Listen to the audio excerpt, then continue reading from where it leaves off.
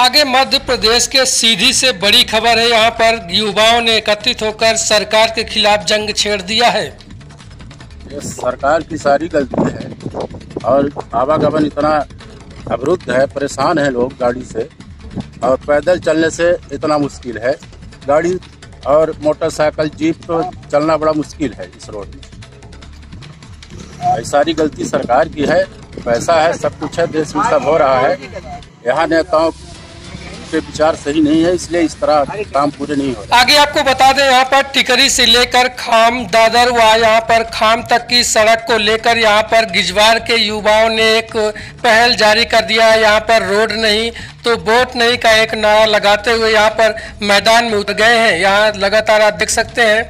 हाँ इसमें बहुत सारे लोग वोट डालने नहीं आए इसी रोड के चलते। लोग चुनाव लड़े थे कुछ लोगों को बुला बुला करके वोट कराए हैं लेकिन जनता अपने इच्छा से वोट डालने से बिल्कुल नकार रही थी कि हमारी जब तक हमारा ये रोड नहीं बनेगा रास्ता सही नहीं होगी हम लोग वोट नहीं डालेंगे।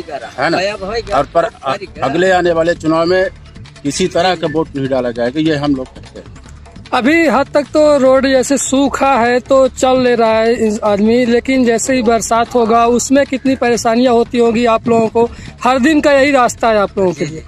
बहुत परेशानी पैदल चलना मुश्किल है है ना? गाड़ी सड़क माने इतना मुश्किल है कि लगता है कि अपन लोग निकले ना घर से इस रोड पे चल। यहाँ पर एक नहीं दो नहीं बल्कि यहाँ पर सैकड़ों युवा मौजूद थे और एक एक करके अपनी कहानी सुनाते हुए कहा यदि सरकार इस सड़क पर ध्यान नहीं देता तो आगामी चुनाव में हम देंगे करारा जवाब।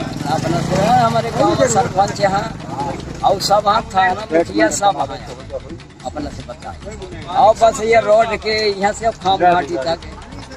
मान ली रोड से।